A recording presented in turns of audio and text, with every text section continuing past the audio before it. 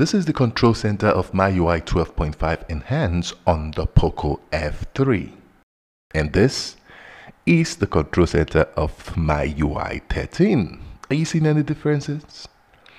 Okay, so it's out for POCO F3, but the caveat here is that it came out as beta. So if you're ready to see the new features of the MIUI 13 on POCO F3, let's get started. Okay, welcome back again to Smart Depot. I was so excited when I knew that MIUI 13 would come to POCO F3 from day one. I mean, I was so excited I waited for MIUI 13 event. I mean, I sat down even before the event started.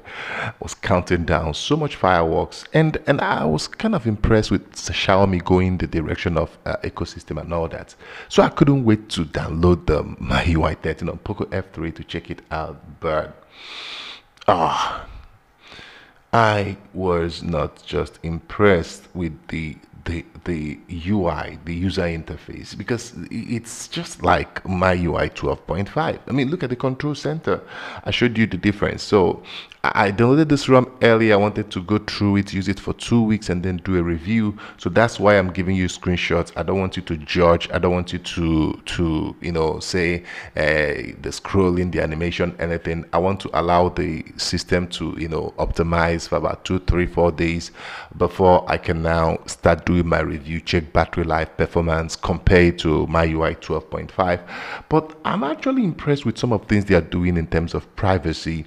They are bringing in some some features about privacy. They are taking privacy very, very serious because if they want to go into ecosystem, you got to take privacy much more serious. But now, I, I I don't want to dampen your view about my review. There are some good things about this phone, but I couldn't just see any uh, design, user interface, um, UI, you know, bumping up or something much different from Advanced 12.5.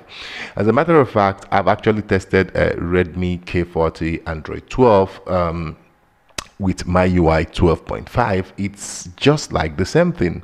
So my problem is why will MIUI, why will Xiaomi uh, give out a release on the first day of MIUI 13 and give it out as beta for Poco F3. I don't know whether they did that for my um, 12 series that was also released today, but for Poco F3, this is this is saddening. In fact, a lot of people in the Poco F3 Telegram group who tried it just ran away and ran back to 12.5 uh, enhanced because they say it felt better. But for me as a reviewer, I have to use it for two weeks. So in the new year, um, the full review of this is going to come. So make sure you subscribe and then let me know what you think about this in the comment section. Are you disappointed? Do you expected more from the design? And this is just China English language, so not much people can even try it. So until I see you in the next one, subscribe. I'll see you.